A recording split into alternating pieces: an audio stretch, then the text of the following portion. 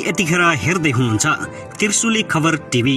चौबिसै घन्टा ताजा खबरको लागि हाम्रो च्यानललाई सब्सक्राइब गर्नुहोला नजिक रहेको बेलायकन दबाई हामीसँग जोडिनुहोला। लुम्बिनीको विकासका लागि बृहत्तर लुम्बिनी क्षेत्रका ऐतिहासिक सम्बन्ध समेटेर काम गर्छौँ। प्रधानमन्त्री पुष्पकमल दाहाल प्रचण्ड मिटर ब्याजीलाई सात वर्ष कैद सत्तरी हजार जरिमाना अचल सम्पत्तिको हक हस्तान्तरण बदर। गुनासो गर्दै मेयर बालेन्द्र शाहले भने आफ्नो अधिकारभित्र रहेर तार व्यवस्थापन गर्छौँ। सर्लाहीमा शङ्कास्पद अवस्थामा वृद्ध मृत भेटिए साथमा एकतिस हजार छेउमा साइकल। भर्खरै आयो निकै दुःखद खबर। सङ्खुवा सभाको भोट खोलामा सिमरिक एयरको हेलिकप्टर दुर्घटना। के कति क्षति भयो यसबारेमा सम्पूर्ण जानकारी कसरी हुन पुग्यो हेलिकप्टर दुर्घटना? सत्ता फेरबदलको राईदोलोमा काङ्ग्रेस सभापति देउबाको कार्यशैलीप्रति प्रश्न। भुटानी शरणार्थी बनाएर ठगी पर्कर टोपबहादुर रायमाझी अझै फरार थप तिनजना विरुद्ध पक्राउ पूर्जी जारी। प्रचण्ड सरकारका गृहमन्त्री नारायण काजी श्रेष्ठले लिए एक्सन एकपछि अर्को गर्दै भ्रष्टाचारका फाइल खोल्दै। राजसभाको उपसभापति डोल प्रसाद अर्याल भन्छन् रवि लामेछानेलाई केपी शर्मा ओलीबाट प्रधानमन्त्री बन्न अवसर आएको छैन सामाजिक सञ्जालमा व्यर्थै अफुवा फैलाइयो। निकुञ्जको नियमनले दलित समुदायलाई हैरानी बस्ती हस्तान्तरण गरिदिन आग्रह। राष्ट्रिय स्वतन्त्र पार्टीको संयुक्त बैठक सुरु। सरकारमा जाने नजाने बारे निर्णय गर्ने आजै करणी गर्न खोज्दा प्रतिवाद महिलामाथि निर्घात कुटपिट पक्राउ परेनन् दोषी। र टोबहादुर रायमाझीलाई जोगाउन ओली अगाडि सरे शरणार्थी बनाएर अमेरिका लैजाने भन्दै काठमाडौँ ठगीको यति वृत्तान्त।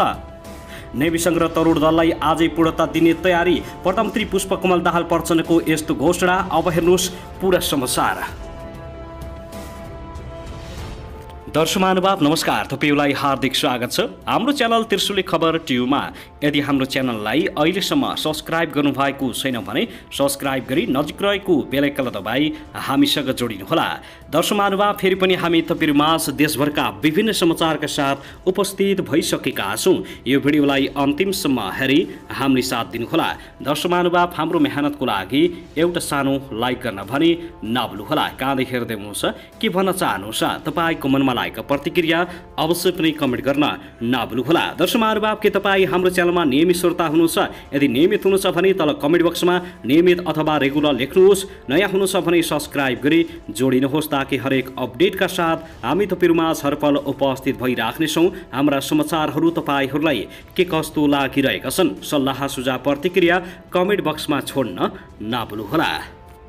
दर्शक महानुभाव आउनुहोस्। अब पहिलो खबरतर्फ लागौँ। प्रधानमन्त्री पुष्पकमल दाहाल प्रचण्डले लुम्बिनीको विकासका लागि बृहत्तर लुम्बिनी क्षेत्रका ऐतिहासिक सम्पदाहरू समेट्दै गुरु योजना बनाएर काम गर्ने बताएका छन्।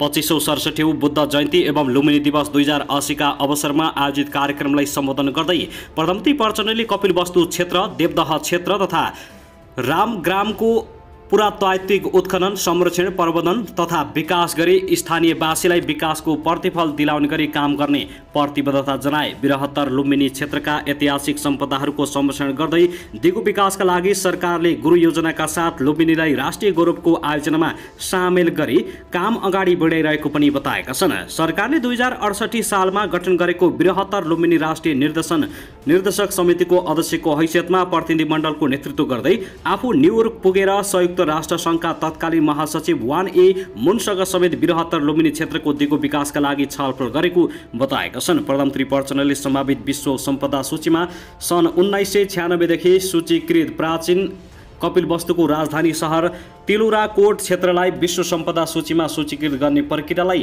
राष्ट्रिय प्राथमिकतामा राखेर काम गर्ने बताए। पछिल्लो समय अहिंसावादी बौद्ध दर्शनको दर्शनको सान्दर्भिकता अझै बढ्दै गएको बताउँदै प्रधानमन्त्री प्रचण्डले बुद्ध जन्मस्थल लुम्बिनी धार्मिक पर्यटनको माध्यमबाट असीमित सम सम्भावना रहेको स्पष्ट पारेका छन्। संसारभरिका चार वर्ष चार अर्बभन्दा बढी बौद्ध समुदायले जीवनमा एकपटक आउने पर्ने पवित्र स्थलका रूपमा रहेको बताएका छन्। महानुभाव त्यसै गरी काठमाडौँ महानगरपालिकाका मेयर बालेन्द्र शाह बालेनले पोलमा टाँगिएका अस्तव्यस्त तार महानगरले हटाउने बताएका छन्। सङ्घीय मामिला तथा सामान्य प्रशासन मन्त्रालयले सहरी सौन्दर्यको नाममा अन्धधुन्द तार नकाट्न स्थानीय तहलाई निर्देशन दिएपछि मेयर बालेन्द्र शाहले आज सामाजिक सञ्जालमा स्टाटस लेख्दै आफ्नो अधिकारभित्र रहेर तार व्यवस्थापन गर्ने बताएका हुन्।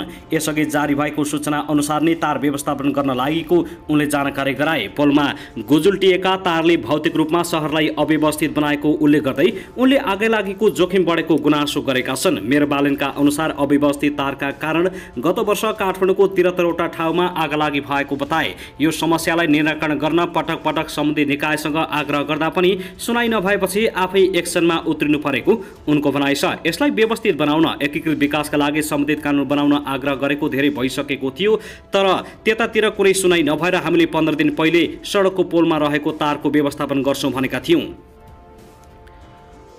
दर्शमानुभाव त्यस गरी सङ्खुवा सभामा हेलिकप्टर दुर्घटना भएको छ। के कारणले भयो? यसबारे हामी जानकारी दिनेछौँ। भोटखोला गाउँपालिका चार हम्बरे डाँडामा सामान बोकेको मेस्रिक एयरको हेलिकप्टर दुर्घटनामा परेको हो।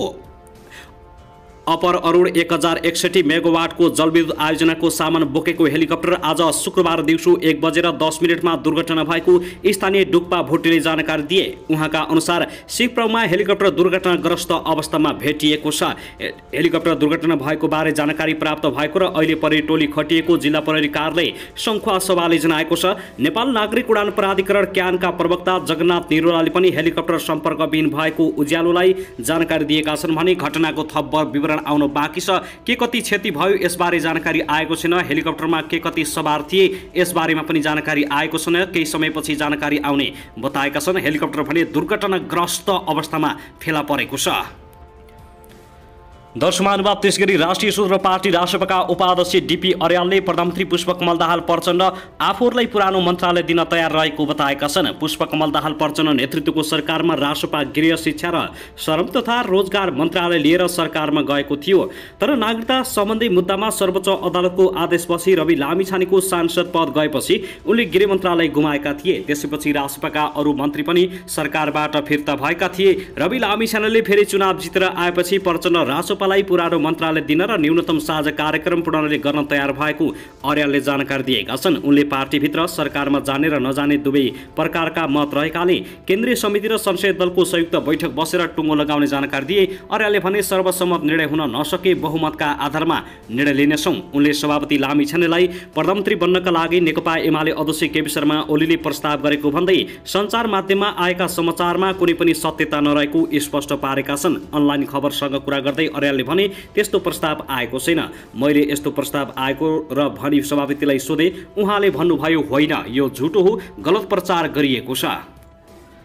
दर्शमान त्यसै गरी नेपाली नागरिकलाई भुटानी शरणार्थी बनाएर अमेरिका लैजाने भन्दै ठगी ठगी गरिएको सम्बन्धी अनुसन्धानमा तानिएका पूर्व उप प्रधानमन्त्री एवं नेकपा एमाले सचिव टोपबहादुर रायमाझी बुधबार साँझदेखि सम्पर्कविहीन भएका छन्। प्रतिनिधि सभा सदस्य समेत रहेका उनलाई पक्राउ गर्न प्रहरीले अदालतबाट पुर्जी लिएको केही घण्टामै फरार भएका हुन्। गृह जिल्ला अर्घाँचीमा अस्ति बुधबार आयोजित कार्यक्रममा रायबाजी सभामुख देवराज घिमिरेसँगै अतिथिमा पुगेका थिए। उनी फर्के लगतै नियन्त्रणमा लिने काठमाडौँ प्रहरीको तयारी थियो।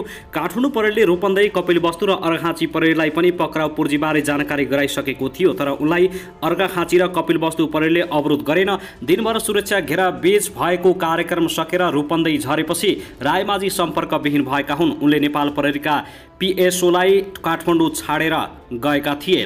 अर्घाँचीको कार्यक्रममा सँगै रहेका सभामुख घिमिरे भने काठमाडौँ फर्किएका छन्। नेपाल प्रहरीका एक अधिकारीले बुधबार साँझ साँझबाट रायमाझी सङ्क्रमण नरहेको र खोजी कार्य जारी रहेको जानकारी दिएका छन्। बुधबार बुटोलमा पक्राउ परेका छोरा सन्दीपलाई भने काठमाडौँ पुर्याइएको छ। उनलाई तिन दिन थुनामा राखेर अनुसन्धान गर्न काठमाडौँ अदालतले अनुमति दिइसकेको छ। शरणार्थीका नाममा ठगी धन्दा चलाउन गिरुवा सक्रिय रहेका बेला टोपबहादुर रायमाझी ऊर्जा मन्त्री थिए। त्यति बेलाका गृहमन्त्री रामबहादुर थापाका सल्लाहकार इन्द्रजित राई सोही प्रकरणमा मङ्गलबार पक्राउ परेका छन्। तत्कालीन गृह सचिव टेकनारायण पाण्डेलाई पनि प्रहरीले बुधबार नै नियन्त्रणमा लिइसकेको छ। उनको पछिल्लो दरबन्दी उपराष्ट्रपति कार्यालयमा छ। प्रहरी हिरासतमा रहे रहेका गिरोहका नायकहरू केशव दुलाल सानु भण्डारी टङ्क गुरुङ सन्देश शर्मा पोखरेल र सागर थुलुङ राईले दिएको बयानका आधारमा उच्च अधिकारीहरू अनुसन्धानमा तानिएका हुन्। पक्राउ पूर्जी जारी भएका तर पक्राउ नपरेका व्यक्तिको खोजीबिन भइरहेको छ। नेपाल प्रहरी प्रवक्ता डिआइजी कुबेर कडालले भने विधि र प्रक्रियामा रहेर आरोपित विरुद्ध अनुसन्धान भइरहेको भइरहेकाले पक्राउ पूर्ति जारी भएकाहरूलाई कुनै पनि हालतमा कानुनी दायरामा ल्याइनेछ। ठगी प्रकरणका विषयमा काठमाडौँ प्रहरीमा बिसवटा छुट्टा छुट्टै जाहेरी परेका छन्। एक सय छजनाका तर्फबाट दिएका ती जाहेरीमा तेइस करोड उनान्सय लाख रुपियाँ ठगी भएको उल्लेख छ। यस विषयमा प्रहरीले सुरुमा ठगीको कसुरमा अनुसन्धान अगाडि बढाएको थियो तर गिरोहले सङ्गठित रूपमा धन्दा चलाएको पाइएपछि ठगीका अलावा सङ्गठित अपराधको कसुरमा प्रहरीले अनुसन्धान गरिरहेको छ। प्रधानमन्त्री पुष्पकमल दाहाल प्रचण्डले बिहिबार पार्टी पदाधिकारीको अनौपचारिक बैठकमा नेपालीलाई भुटानी शरणार्थी बनाउने भन्दै ठगी गर्ने गिरोहमाथि प्रहरीले कुनै पनि दबाब बिना अनुसन्धान अगाडि बढाउनु पर्ने निर्देशन दिएका छन्।